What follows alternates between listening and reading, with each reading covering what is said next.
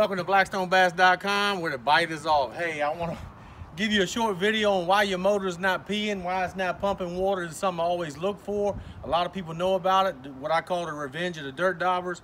Uh, Lee, if you can get in here closer. I went out today, and before I went out, I took this piece of wire and I ran it up in the bottom like this, right? I had just a little bit of residue right here. Can you see that in close? Just a little residue. So I was good, right? So, oh, this is what baby's gonna pump fine. Well, it didn't pump fine.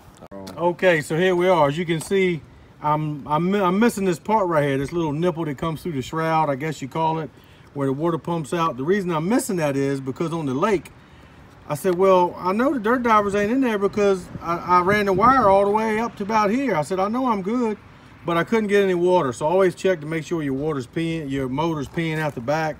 If not, you know, you could burn your engine up. So I took this apart and that fell out in the water somewhere in the drink. And so I got this hose. And so then I need to take this off and I'll show you where the dirt divers went. They went further than I've ever seen them go um, before. Now, they're all the way up in the back of this little housing right here. They went all the way up in the back of this little housing right here where I pulled this hose off. The dirt divers are all the way inside here. I left them in there so I could show you how bad they uh, attacked me. Okay, I don't know if you can see up in there or not. There we go. Now, see that dirt in there? That bad boy is dirty. It's totally blocked. Here's where the dirt is right here.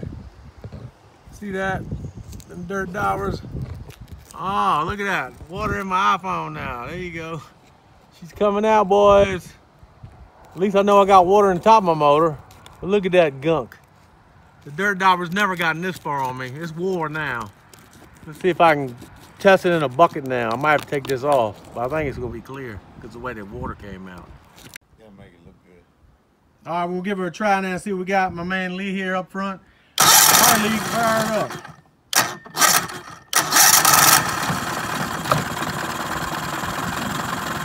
Just start pumping water out now. There she comes. She's peeing. About time, you dirt daubers. You haven't heard the end of me. It's in a slow stream like that when you're just idling.